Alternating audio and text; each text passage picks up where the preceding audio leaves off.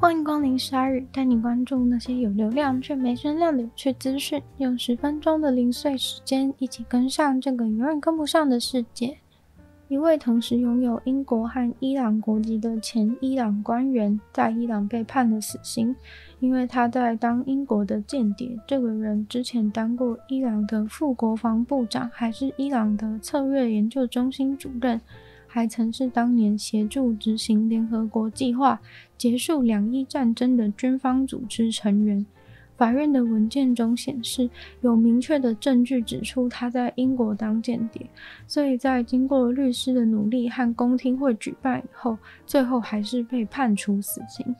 英国政府呼吁伊朗停止执行死刑，并解放他。英国外交部表示，伊朗必须要立即停止处决这位英国、伊朗双重国籍的人，并立即解放他的原因是，他们认为这只是伊朗作为一个野蛮的国家为了政治目的所做的行动，而这完全不把人的生命当一回事。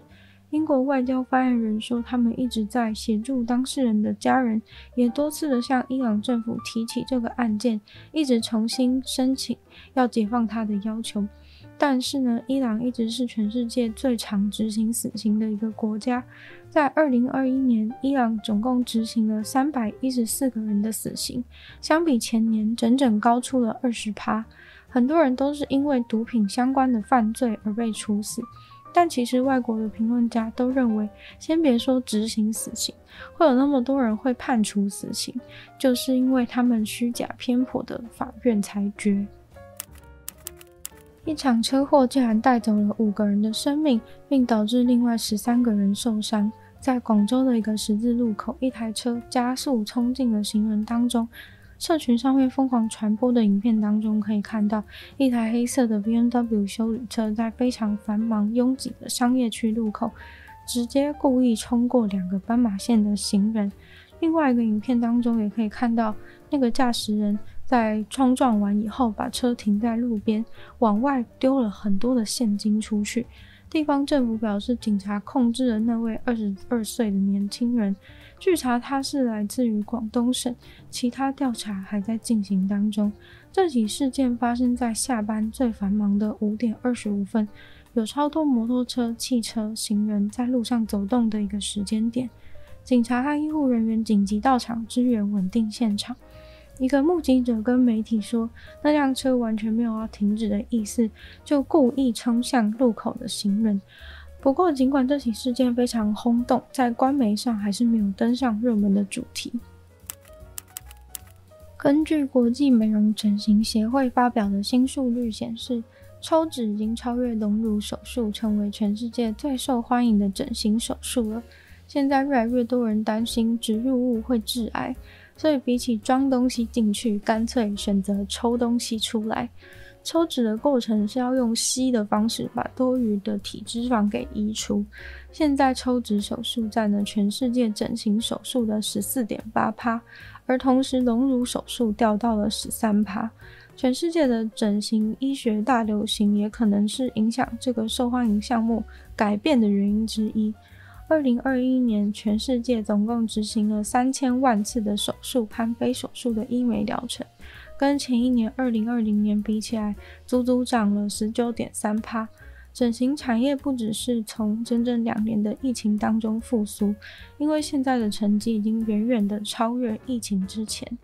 从二零一七年到二零二一年，整形手术的数量成长了三十三趴，非手术的医美疗程，包含了最受欢迎的肉毒杆菌，更是在这个期间成长了五十四趴。在所有整形业整体大幅成长的情况下，隆胸手术在过去四年的成长却只有零点五趴。现在似乎很多人担心隆胸手术的植入物会导致渐变性大细胞淋巴瘤。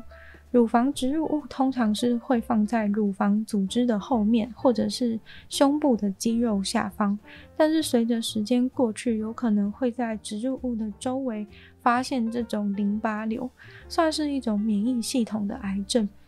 意大利的整形医生就发现，甚至突然因为这样，很多人跑来要求把当初花大钱隆胸放进去的植入物取出来。这个取出隆胸植入物的手术，在过去四年更是成长了五十趴。从 FDA 发表跟隆胸跟渐变性大细胞淋巴瘤有关的报告出来以后，很多其他的研究也都指向同一个结果，于是敢去隆胸的人就越来越少了。但是在亚洲地区，似乎发生隆胸植入病变的状况极少。于是有人也推测，这可能很是跟人种有关系。在意大利，很多人开始对塑身更有兴趣，这也是为什么抽脂突然变得很热门。二零二一年，全世界执行了一百九十万次的抽脂疗程，比前一年增加了整整二十五趴。二零二一年还有其他很受欢迎的项目，像是隆鼻手术跟腹部整形。第三流行的则是双眼皮手术，而且出乎意料的呢，竟然是以男生居多。报告中还指出，提臀是目前成长速度最快的一项手术，从二零二零年到现在，提臀成长了五十三趴。至于打玻尿酸来填充脸部的数量，也成长了三十趴。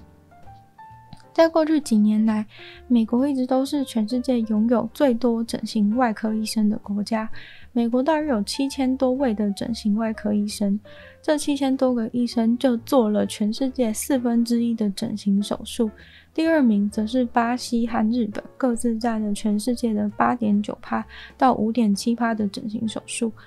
土耳其、哥伦比亚、墨西哥和泰国则是最多人喜欢去那里整形的国家。国际美容整形协会总共代表了五千六百位来自一百一十七个不同国家的整形外科医生。这些数据呢，是从超过一千个整形医生那边获得的资料。不过，这个报告只有包含有经过认证的外科医生。但是，根据美国统计啊，其实有超多不是整形外科医生的人正在帮大家做整形手术，所以实际的数量呢，应该远远超过这些。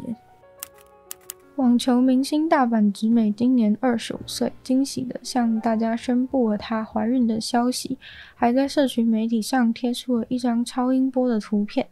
她说自认为自己在过去的几年都过得非常的有趣而充实，就是那些人生中最有挑战性的时刻，让她觉得是最好玩的。